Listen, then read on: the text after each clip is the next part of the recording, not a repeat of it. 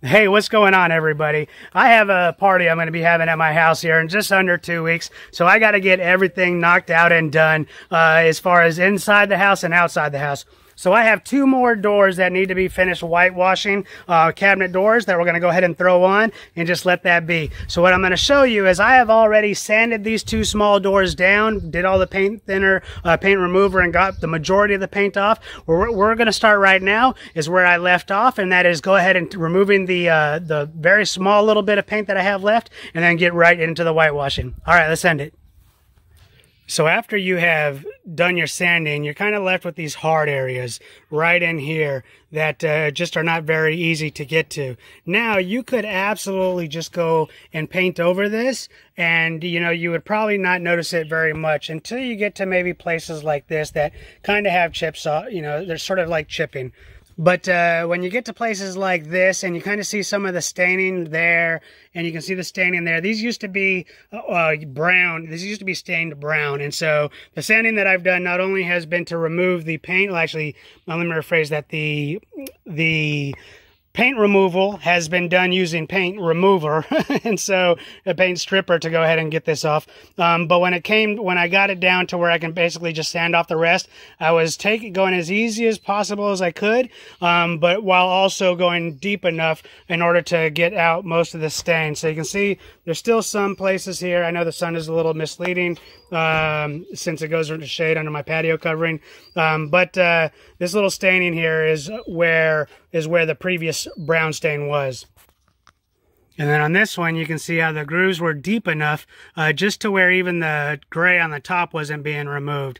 Um, so what I like to do is at this stage, I go ahead and I take my Dremel um, and I just lightly go into some of these places, not necessarily trying to get every single last scrap of paint up, but just at least getting the majority of it so that uh, when I paint over it, um, basically it makes it so the paint that is left is unnoticeable because the whitewashing will wash over that too. So these are the two doors we're going to be going ahead and whitewashing today, finishing the paint remover. It is just an absolute beautiful day out here in San Diego. We're like low to mid 70s uh, in the uh, beginning of June. So we're going to go ahead and do this uh, project outside. Let me go ahead and show you some of the details on how we're going to approach today.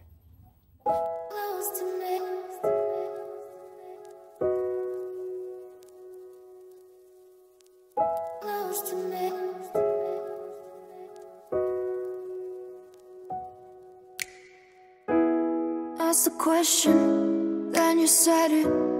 Always saying things you're regretting. Can't erase the steps we've taken. Can't go back to the time and place we met. I was so upset, but you made it all better.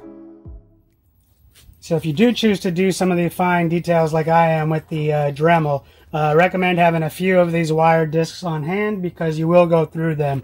Uh, they do last a pretty good amount of time. I was actually just finishing up uh, uh the rest of the wire that was on the last one, um, but uh, you will, depending on how big your project is, go through quite a few of these.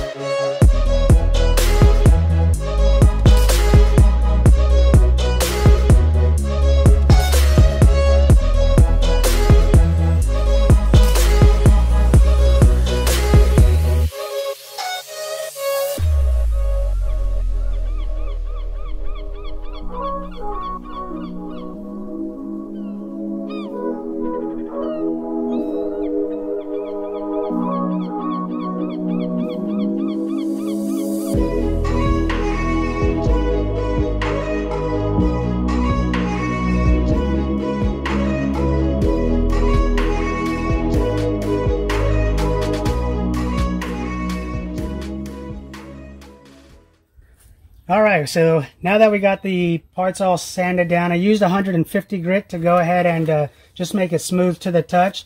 And I went ahead and uh, used some cloth, uh, some paper towels um, to go ahead and uh, remove all the extra grit.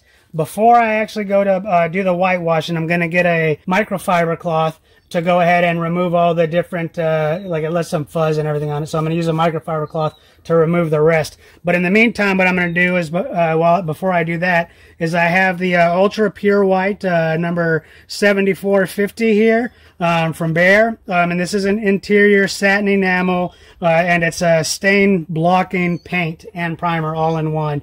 So I'm just kind of mixing it up in here before I uh, mix it in my two to one mix. So it doesn't look it, but I'm here. Uh, it doesn't look very well because the table that I'm here isn't level. It looks like I'm about two and a half. Um, it was two. Actually, it was one right here. So I'm going to go up to the same distance just above the two on this side.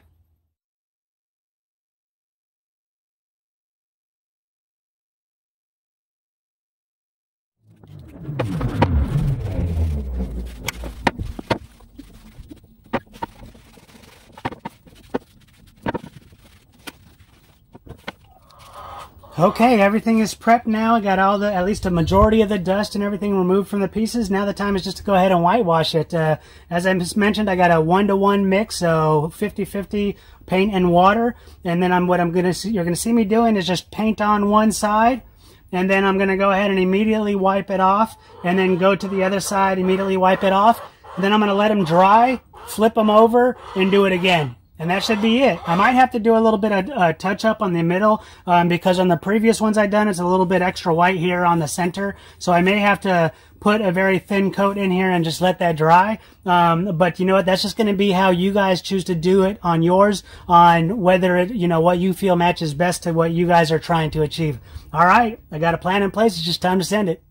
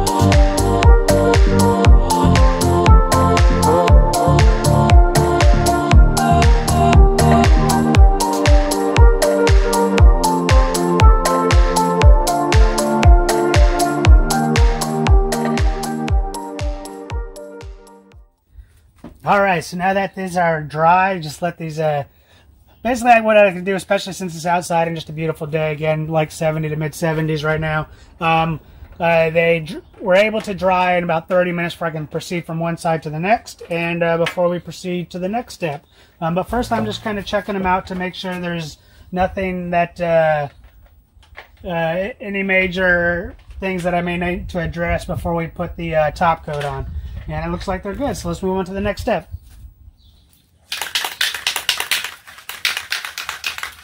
All right, so the last step we're going to be doing is I'm going to be using this uh, spray polyurethane. Um, it's going to require four coats. Um, and in between the third and the fourth coat, I need to take a 220 grit sanding block and go ahead and just kind of scuff it up one last time.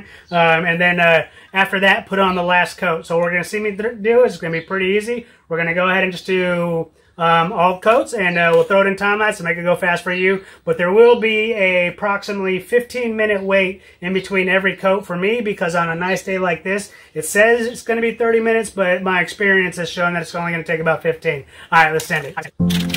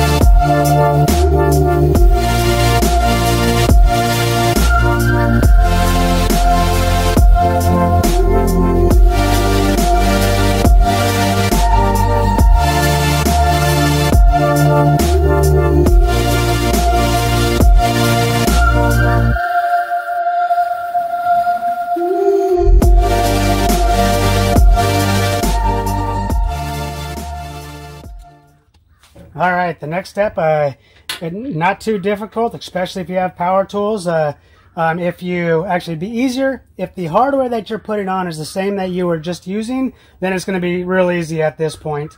Um, however, myself, the pattern lines up pretty close, but not completely. So what I'm going to go ahead and do is uh, use the power tools um, to go ahead and assist me uh, and putting these in.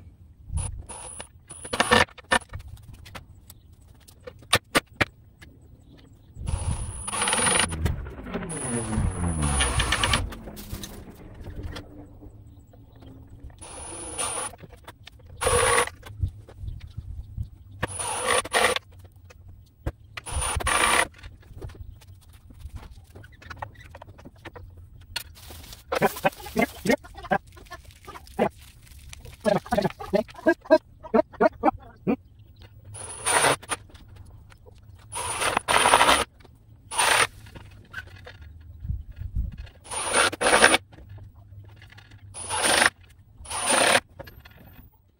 All right, I got my drill out here because it's time to drill the new holes for the handles. Uh, and here's my handle that I'm going to be using. Uh, and this is the jig that you can buy from any big box store. I got mine from Home Depot. And it came with the 13 16th drill bit alongside it. So uh, if you don't have the drill bit that comes with some of these jigs, 3 16ths is the hole you want to drill.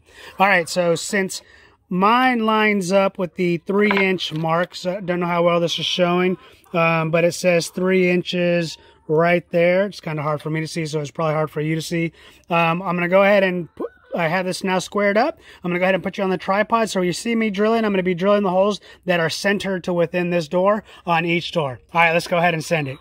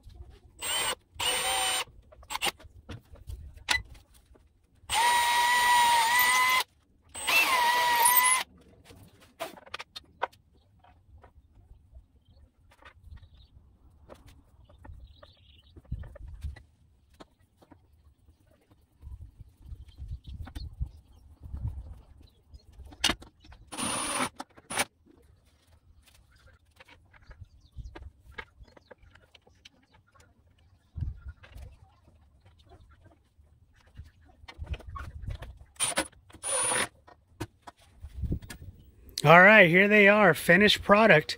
This is definitely a far improvement from the all white cabinets that I had just prior to sanding these down. Now, I will say, as you can kind of see, I did um, off the camera before the polyurethane go down with just lights in it on the 150 grit to give me a little bit more character around the edge excuse me, around the edges. Um, and the reason why I went around the edges and not necessarily on the inside is because the outside is actually real wood. The inside is some sort of engineered wood. So I was okay to keep that sort of covered. But uh, this is definitely some real character on the outside. Now, that you, you know, this is definitely, there are better options out there if you're willing to pay for them. You know, for the amount of just spending some money on paint and some hardware, this is definitely a great improvement for my cabinets um, from where they originally stood. All right, so that's going to go ahead and wrap up this video. I did want to add a little bit to the ending here and let you know that if you were going to do all of this from the beginning to the end, those two doors, you should probably at least, for that size of doors, you should probably plan for at least two days because doing the paint stripping and the paint removal, uh, depending on how much paint you had on there originally, can take quite a bit of time. It's because you got to put down the paint thinner, let it sit, remove it, and you're probably going to have to do that a few times. So then you want to let it basically dry completely before you even get to think of painting. Um, so it's best to just let that do one day and then you pick up to where I was today. Um, so hopefully I was able to give you guys a good option on if you don't necessarily want to go and uh, pay money for some new cabinet doors and you got some um, wood doors underneath. Uh, and as a matter of fact, I'll be honest, I did not know that I had the wood doors underneath or a combination of wood and engin engineered wood. Um, but uh, as soon as I found that out, I whitewash became an option. Um, and I figured, you know, just for the price of paint and everything, and like I said, the hardware, it wasn't that much money, about two days, and then you're going to go ahead and uh, easily whitewash some cabinet doors. Now, if you're going to do your entire kitchen, just I would um, keep in mind those were pretty small doors, so depending on how big your doors are, that might be a pretty big project you're taking on. Um, but uh, if you got the time and you got the resources, then go ahead and send it. But anyways, thank you for watching. I hope you enjoyed this video, and I'll see you on the next one.